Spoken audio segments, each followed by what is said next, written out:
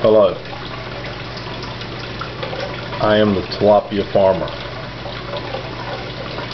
I wanted to do a quick demonstration on how four 10 gallon aquariums from Walmart can create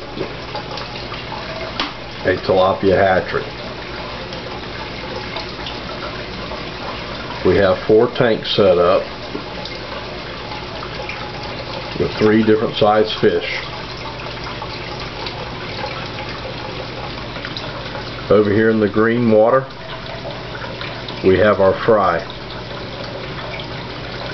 Fry need a lot of algae to promote growth and give them a kick start. You notice there's no filtration going on in this tank. I have a tank over here that is empty. That is preparing the net the next batch of algae for future for future fry. Here is the tilapia farmer. Fry fingerling production system